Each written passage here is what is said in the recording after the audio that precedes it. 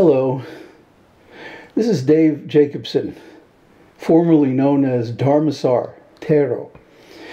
I dropped the Thero. You can call me Dharmasar if you like. That's my spiritual name.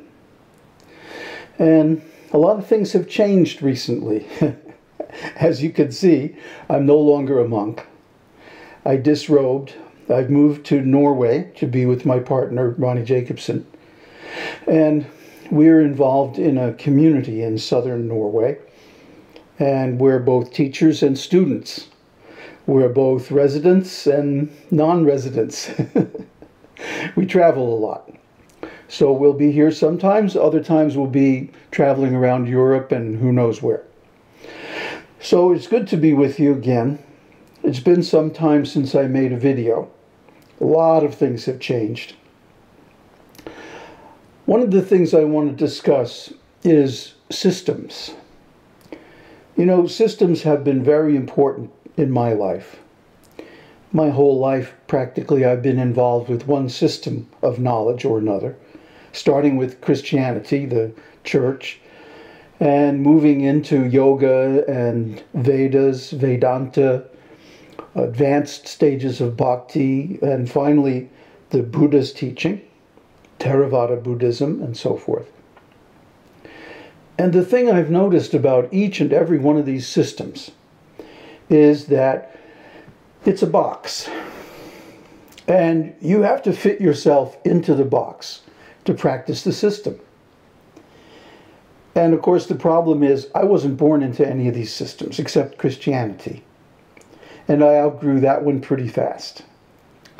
So the persistent impression I have is that I don't fit into any of these systems. I'm too big for them. I have too many other interests that aren't part of the system or that are part of another system. so systems and systems people have trouble fitting me in. Uh, they have a difficult time grasping the breadth and scope of my interests, which are very broad.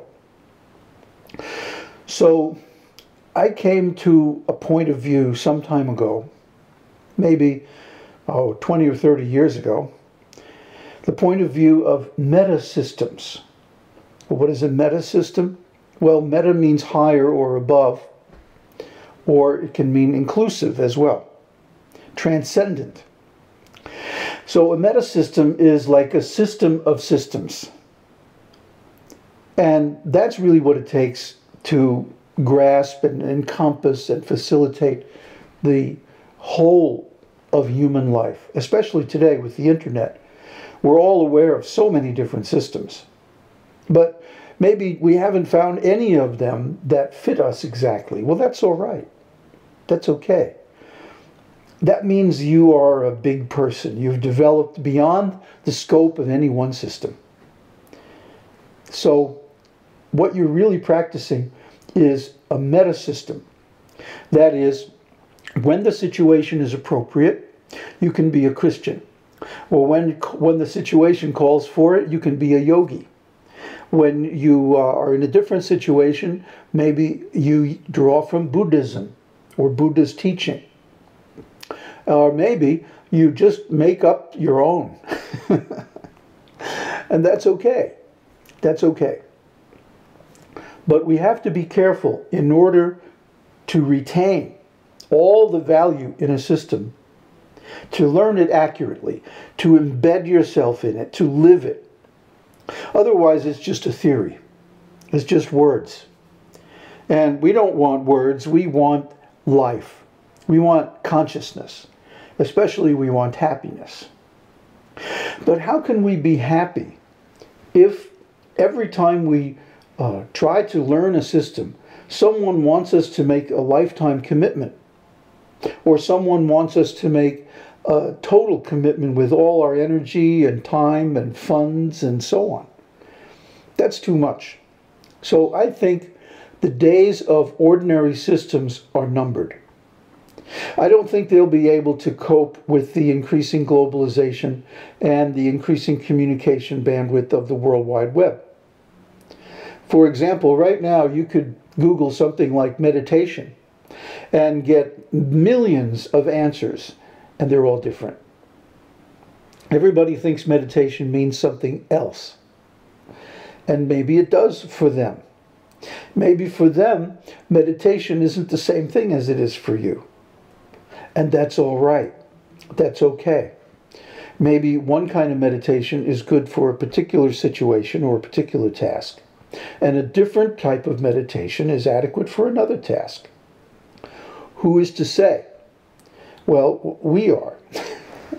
it becomes our responsibility to take the type of meditation that fits the situation. It's just like medicine, for example. We go to a doctor, the, med- the medicine for the particular condition we have is prescribed, and then we take that medicine until we get the result. And if we don't get the result, we try another medicine and so on. Well, meditation can be like that too. Meditation can be uh, an adventure where we try this and we try that and we see what fits us. One book that I'm really fond of is called the Vigyan Bhairav Tantra. And what's cool about that book is that it has 120 or more different meditation methods. And some of them are quite different from one another, but they're all coming from the same teacher, Bhairav or Shiva.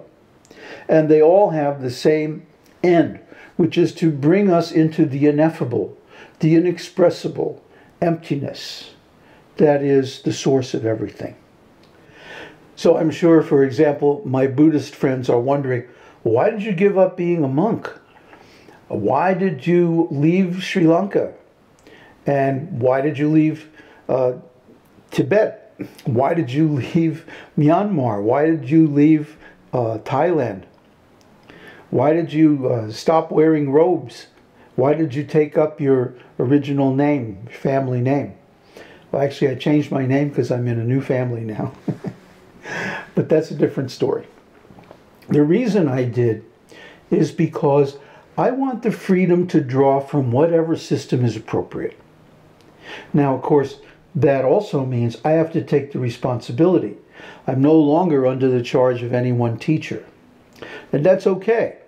I'm mature, I've been around, and I know how to use different methods in different circumstances. But a lot of people don't see that. A lot of people see, well, you have to commit to this one system and follow it all the way to the end. Okay, I've done that. I was in yoga, especially bhakti yoga, for more than 30 years.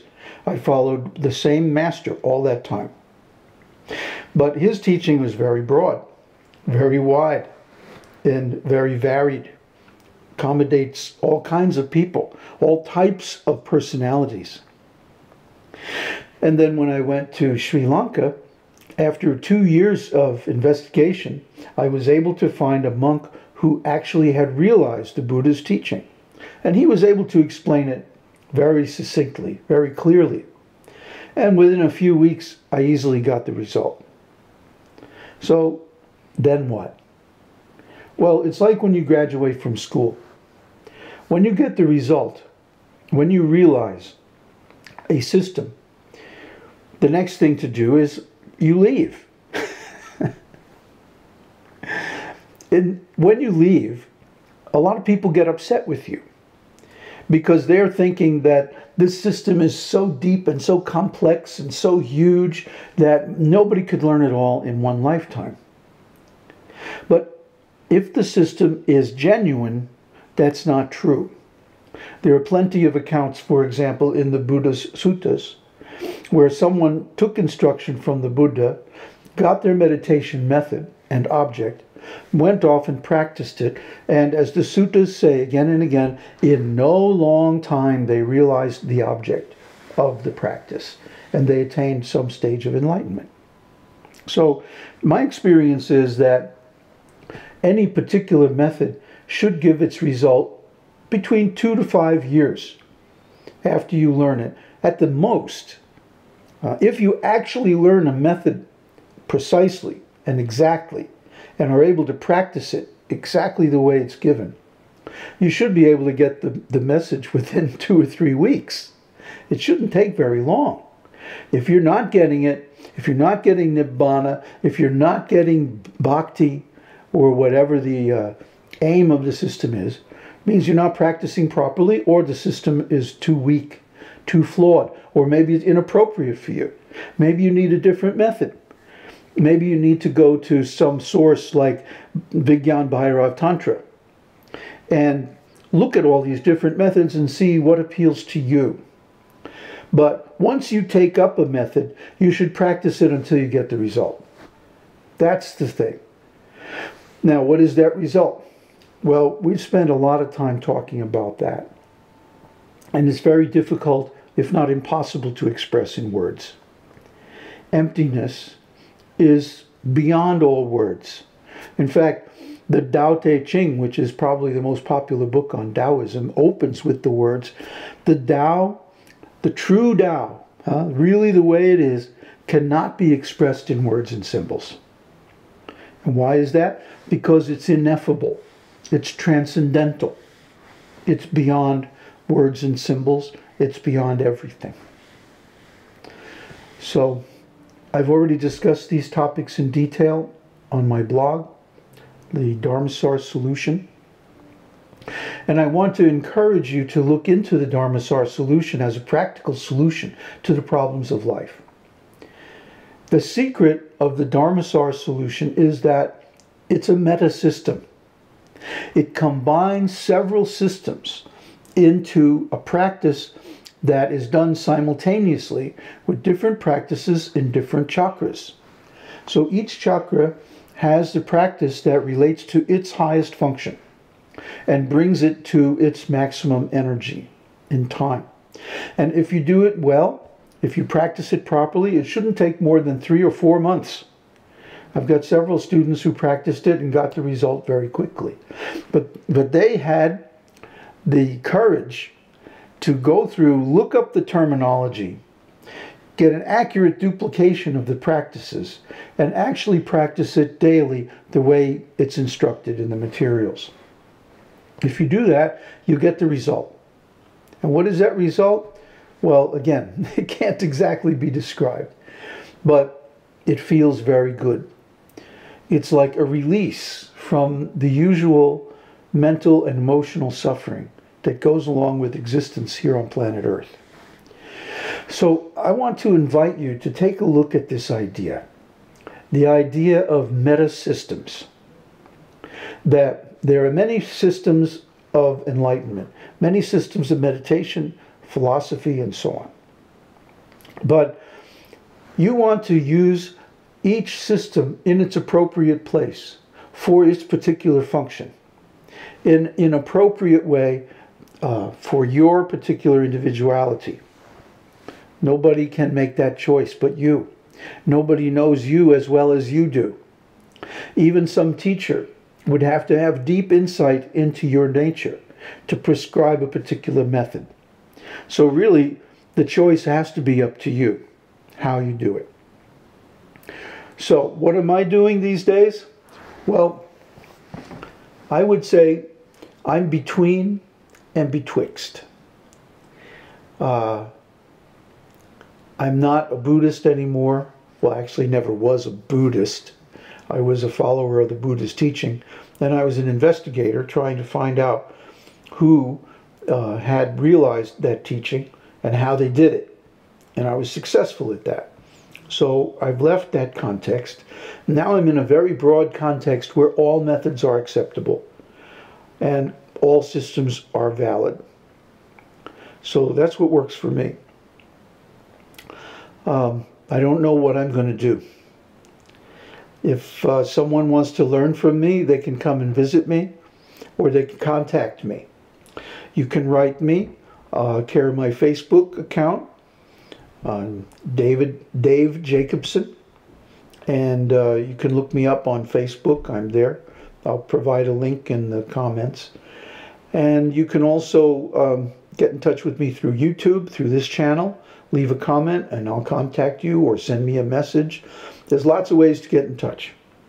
So if you want to learn this meta system approach, then get in touch with me and we'll work out something or other. Uh, if the videos aren't enough, I'll give you personal support. I have the time for it right now. I might not have that time for very long.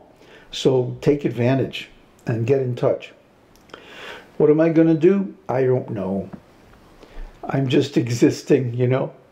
Uh, I'm very satisfied with what I've attained, with all my work on myself, with all the meditations that I've done. And uh, I'd like to be of help to you and to many people. But unless you approach me, there's not a whole lot I can do other than make videos and recordings and write books now and then. Uh, although I'm really tired of writing, I'd much rather just speak like this. Uh, so what I have to say is that it's more up to you how you implement this teaching and how well you implement it and what kind of result you get. I've gotten a result that's very satisfying to me and I have very high standards as anyone who knows can knows me personally can tell you. But unless you take the initiative, unless you take the responsibility for your own enlightenment, it's not going to happen. No matter how good a teacher you've got, no matter how powerful a method you've got, no matter how many blessings or initiations or whatever uh, you receive, it's up to you to put them into practice and get that result. It's up to you to arrive at the conclusion of spiritual life. So please take this advice to heart. If you're interested enough to watch this video all the way to the end here, then drop me a line. Let me know how you're doing. I do care. And I do want you to succeed in spiritual life. I'll give you all the help I can. And uh, meanwhile, here I am in sunny Norway. it's still freezing after being in tropics for the last two and a half years. It seems very cold. Everybody's running around in t-shirts and I'm wearing sweaters. so uh, it'll take me a while to get used to this. I'll probably travel again soon. You know how I am. I lead a nomadic life. Uh, started this career out as a musician and got into healing music and then to meditation and so on. So here we are 40 years later and I'm still always on the road. Can't seem to stay still for long. So if you want to take advantage of this opportunity, drop me a line, get in touch. Let's work something out. There is a way for you to approach enlightenment that does not require you to get into a box, to fit into a program, uh, to uh, restrict yourself to one context or one method. I had to do that in order to steal the secrets and the world hacks that the masters had developed and learn how to apply them properly. But now that I know that, I don't have to say that I belong to any one sect or any one religion or any one method. I'm free. And you can be too. So please, if you want to attain enlightenment, take these methods and apply them and get the result.